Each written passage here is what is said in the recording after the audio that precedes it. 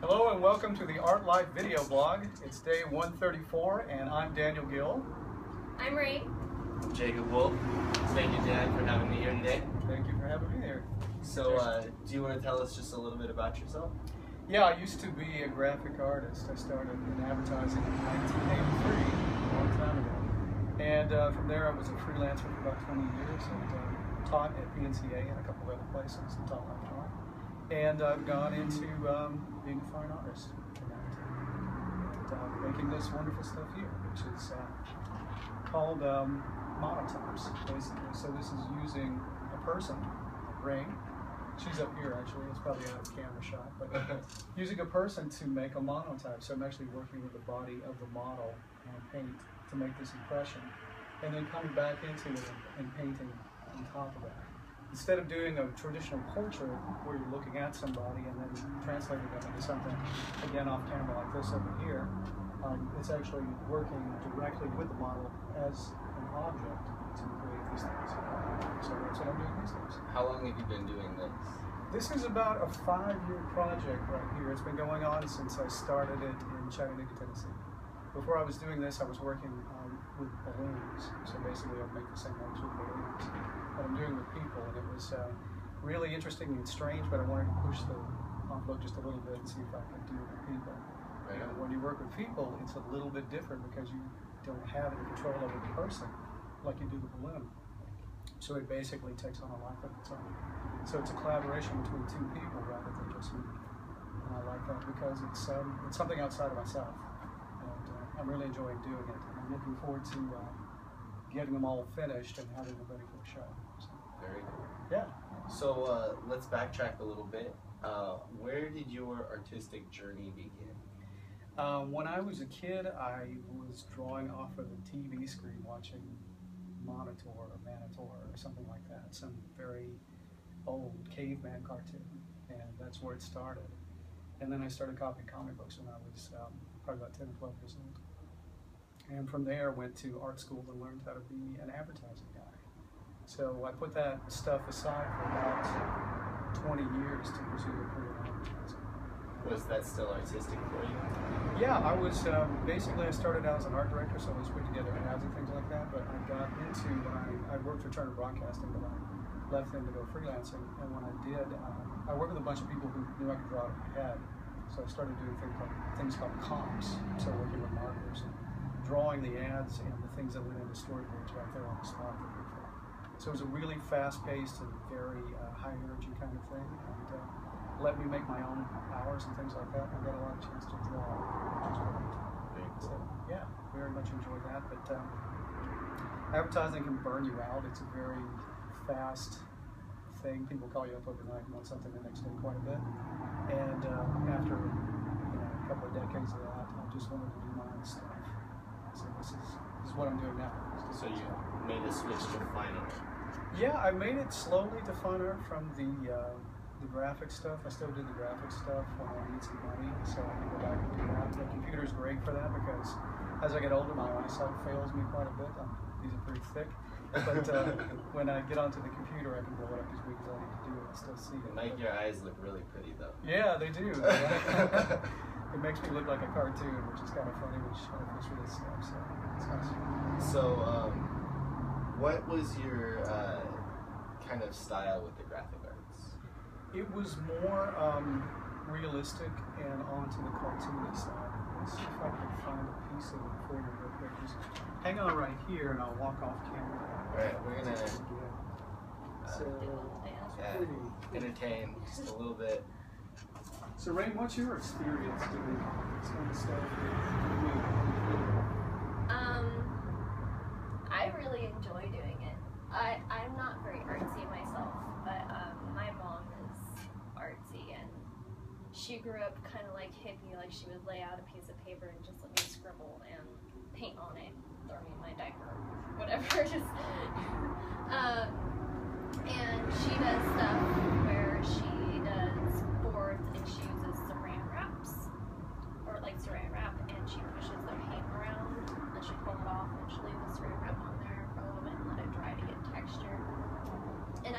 couple of boards, but I never know what to do with them afterwards. Like I'm like, all right, this is cool. She like put stuff on there and like takes some pictures. But um, how long have you been working with Dan? I this is my third time working with him. Um, yeah, you're relatively. We did uh, painting or two paintings together, and then we did that one up there, and I did some.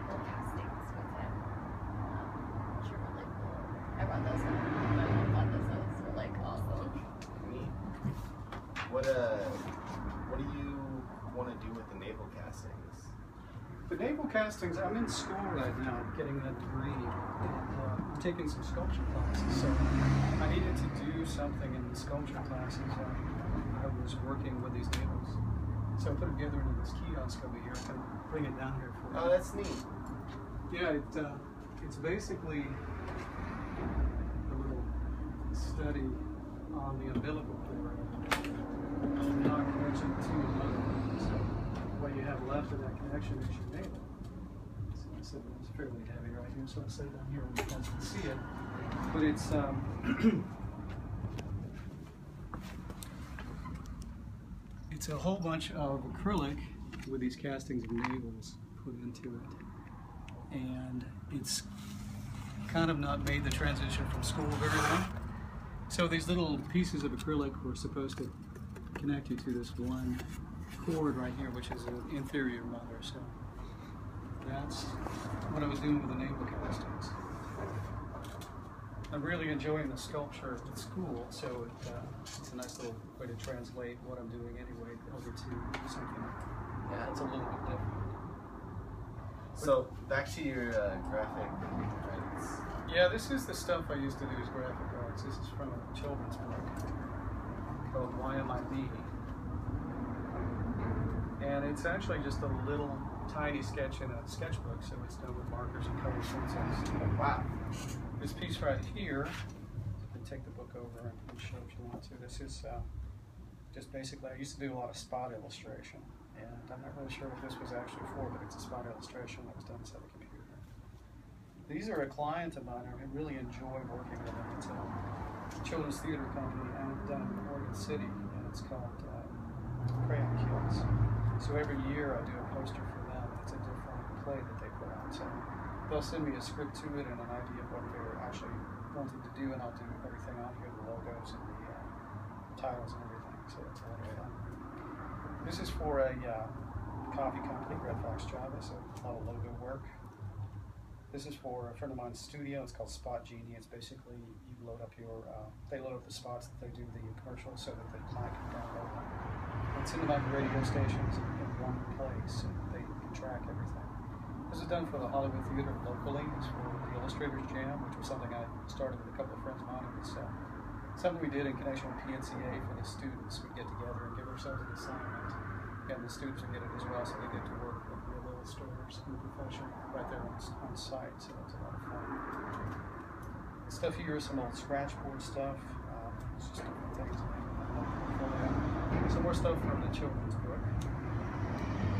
So basically, it was a lot of drawing a very uh, whimsical kind of commercial style. When did you do the children's book? The children's book was actually done um, it was quite a while ago, actually, 1998, I believe. So it was uh, quite good. And uh, these are some little things I did for the Chinese calendar, thing. And they go on and on. This was done for a um, theater down in Corpus Christi, Texas, called the Ritz. Grand reopening. It had uh, gotten quite dilapidated and they rebuilt it. And this was for the the. And these are just various and sundry things in here. This was also done for another children's book called The Secret Christmas Tree Ornaments, which was a local fellow here who uh, since moved on, but it was, uh, these were metal ornaments, uh, cast metal instead of glass, so they wouldn't break. So, Yeah, so these are just extra things like that, but you get the gist of what kind of stuff I used to do. when did you decide that you wanted to make the switch to fine art? It was, um, there was a really big crash in 2008, if you remember that, the. And um, I just wanted to get out from underneath all the um, stuff from the clients that I've been working with because I was getting like I said, burn out. So I cut everything back to a really manageable size. And it gave me a lot of time to actually sit down and paint. So I always wanted, I'd always wanted to be a painter, so to uh, pushing some of the clients aside and just keeping the ones that I really, really liked. And, uh, you know, just buying some paints and going to the as well. It started out realistically. all nice. We have a really nice train here. I don't know if you know Yeah. Just saying hello. Yeah. But yeah, a lot of it started out like Grayson's portrait up there, which uh, was really just rough and kind of, you know, unsettling. And then it got to smoother stuff like this. So I found that the more, um, I really like working with the figure, but the more I get away from the actual res- representation of the figure, the more engaging paintings become. So they don't frighten people as much, and they like the colors and things like that. And I do love it too because it's what I do every time. Yeah. So you um, do the the, uh, the paintings with the girls, and then you paint with the it. Yeah, oh, yeah. So, Yeah, um, wish I could show you. I've actually, I'm putting together a video of it, but basically what happens is what you see on these nipples of Venus prints over here. So if you uh, look at these, these are basically the raw monotype that comes off. And then I take that and put some sort of narrative with it, which this one here it has a lot of snails. Yeah, I fully realized yet that this is, I see this is some sort of ringleader ringmaster of a circus, and these snails are flying through it. So it, uh, it develops a story as it gets painted. Part of the big thing about it is painting out pieces. This one over here started out on a white background just like this. The darks are added, and there's a lot of tiny color pencil works make it more mysterious and more strange. What you see here is actually the model, which is kind of fun. So you get it's a strange thing about the person, muscle and bone affect the thing differently. The more bone is close to the surface pushes the paint away, and the muscle will hold the paint. So it's a fascinating kind of thing to stare at. It's uh, it's almost like a, an old psychedelic poster. So, how do people get a hold of you to find your work? Are you showing in galleries? No, not yet. I've been putting together a big show, but if, uh, you can see my work on my website, which is danielliamguild.com. And you can also see these monotypes of the nipples on nipplesofvenus.me. So that's a new project that I'm working with. That uh, is a little, it makes uh, the paintings more affordable so people can get a small Mm-hmm. vis-a-vis pretty much, you know, they take up your whole wall and Yeah. take up this one. So having something small is, is a nice thing to do. Um, what was I gonna say? Oh, are you always looking for new models, or are you pretty set with the girls that you have?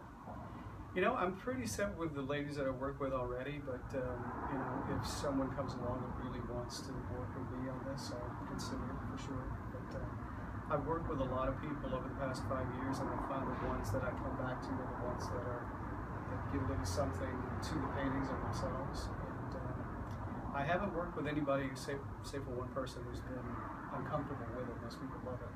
And the deal that I work out with everybody is you get a painting for doing it, but I'd say only about 10% of the people come back and actually get the painting, which is pretty funny. Because I guess most people just need the experience. But um, yeah, it's, it's uh, I'm open to working with new people. If they really want to do it. Right So. Yeah. Um, what are your goals and aspirations for the future? I want to put this together. There's probably um, about 100 pieces in this in this show. So I want to assemble this and put it together in a show called Maps and get that out to a gallery. I was looking at a place called Butters, but they just moved out of the road space, and it's something that I haven't seen yet, but I'd love to talk to them about it because they actually do um, book shows that are a lot like this one. So I'd like to get that set up and, and out there so people can see it. And then I'd like to uh, keep pursuing this Nipples of Venus project because I'm really enjoying that. And that's a very fast uh, way to work unless we compile a whole bunch of different pieces of art and experiment with um, putting it up on the web on an online store. I haven't done that before, so that's really fun, a new thing to do. And it lets me play around with editing videos as well, which uh, is a brand new thing too. So very, very exciting. So the uh, the last thing that I wanted to talk about is a gallery that I throw. Um, it's called Fourth F and Friday, Yeah. and it's on the fourth fourth Friday of the month. Uh, the next one coming up is on August 28th. Uh, you're more than welcome to come check it out, see what the feel is. Uh, there's a ton of artists that are going to be there. Uh, live music, uh, provide free booze and food for everybody, and we paint on the walls. It's it's crazy. Yeah, I would love to. Yeah.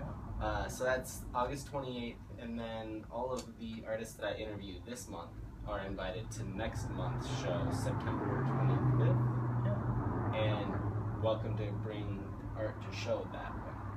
Yeah, I would love to. There's a couple of these pieces I have framed that I would love to Right on. and show.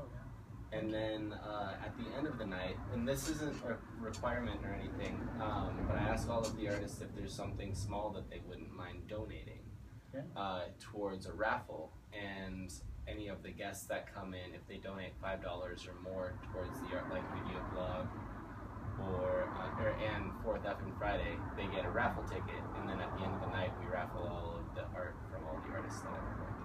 Yeah, there's plenty of stuff here. So if you just want to pick something, there you go. Just yeah, Right on. dig through and it's yours. So yeah, Sweet. to. Thank you. to do that. Do you either of you have any last comments, questions, or concerns? No, thank you very much for you know taking the time to come over. Yeah, thanks for having me here. It's Yeah. a lot of fun. Thank you. Yeah. Art Life Video Blog, everybody, day 134. Thanks for tuning in. Uh, catch you again soon. All right.